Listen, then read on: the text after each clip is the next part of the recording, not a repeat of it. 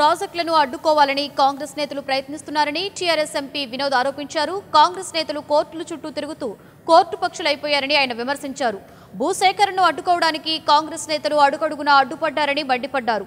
Voter నమోదుపై అవగాహన కల్పించడం అందరి బాధ్యత అని ఎంపీ వినోద్ పేర్కొన్నారు. కాబట్టి ఇంకా సమయం ఉంది.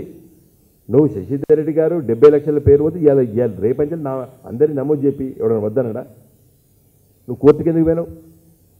నమోదు చేయలేదా? చేయమంటుందా ఎలక్షన్ కమిషన్. ఓటర్ మహాశయాలు ఎవరైనా పేర్లు ఉంటే నమోదు చేసుకోవచ్చు టైం ఉంది. ఆ ప్రయత్నం చేయాలి నువ్వు. మీ కాంగ్రెస్ కార్యకర్తలు అందరికీ పిలిపివ్వండి. ఓటర్ మహాశయులారా మన కార్యకర్తల పేర్లు పోయినాయి లేదా మన నాయకుల పేర్లు పోయినాయి లేదా మన ప్రజల ఓట్లు పోయినాయి అని నమోదు చేసుకుంటాం. ఇప్పుడు మేము ప్రయత్నం చేస్తున్నాం. ఎవరైతే పేర్లు లేవో ఓటు నమోదు చేసుకోండి నమోదు చేసుకొని చెప్తున్నాం. పెద్ద పెద్ద అడ్వర్టైజ్మెంట్లు కూడా ఎలక్షన్ కమిషన్ ఇచ్చింది. చూస్తున్నాం మనం. టీవీలలో కూడా చెప్తున్నారు. కానీ ఎన్నికలు జరగకుండా ఆపాలి. అది ఉత్తమ్ కుమార్ రెడ్డి గారు ఓట్లు కావాలంటాడు శశిధర్ రెడ్డి గారు వద్దంటారు.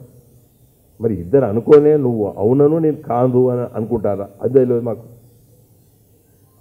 ఎన్నికల ప్రక్రియ ముందస్తు ఎన్నికలు.